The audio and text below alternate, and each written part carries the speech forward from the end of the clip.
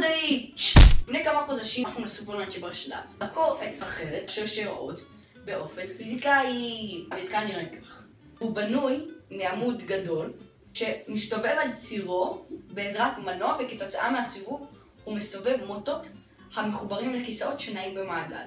ככל שמגבירים את המהירות, כך הזווית שנוצרת בין הכיסא לבין העמוד, גדלה. בגלל הכוח הצנטריפטלי, כוח החנוני, אבל היא לא יכולה להגיע אף פעם ל-90 מעלות. היא יכולה להתקרב אליה, אבל היא בחיים לא תגיע אליה. בגלל שאין כוח המתנגד לכוח המשיכה. עכשיו, הכוחות שפועלים בזמן הסיבוב על הכיסא הם 1. T, שהוא המתיחות. נכון. 2. NG, שהוא כוח המשיכה. ושלוש, הכוח הצנטריפטלי שהזכרנו קודם. ארבע, אתם יודעים למה הכוח הנורמלי לא פועל כאן? כי זו חוויה ממש לא נורמלית. איזה חנון!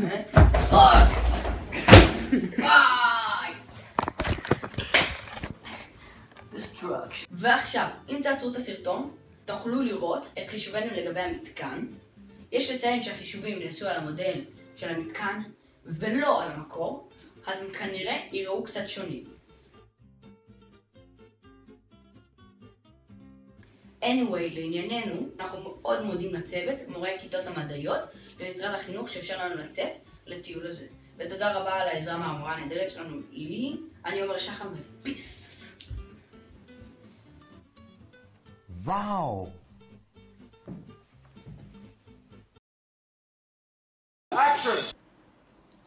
מה קורה מדעית?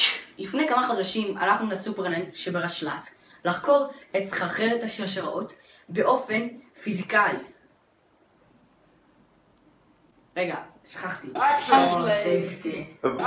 שמסתובב על צירו בעזרת מנוע, וכתוצאה מהסיבוב הוא מסובב מוטות שהמחברים... MG, שהוא כוח המשיכה. אנחנו מאוד מודים לצוות, מורי כיתות המדעיות, למשרד החינוך שאפשר לנו לצאת, ובעיקר ל, אה, למורה שלנו, לי שחם. אה, מההתחלה.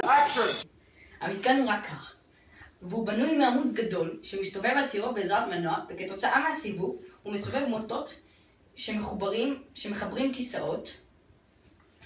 אתם טוב בזה.